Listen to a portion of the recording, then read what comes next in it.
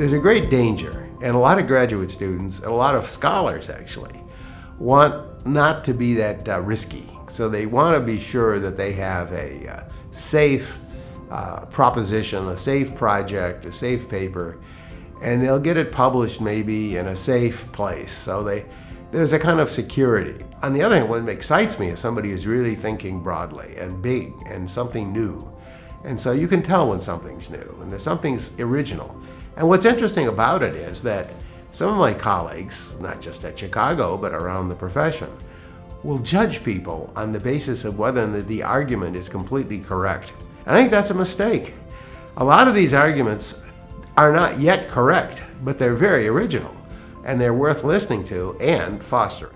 A PhD topic has to be something that you can complete while you're a graduate student. So there are great problems for people to work on that aren't necessarily good PhD topics because you have to get them done in a in such a finite amount of time when you're when you're still a student. Some of the most creative work in economics has really been dismissed out of hand originally, and then it gained acceptance later as people understood it.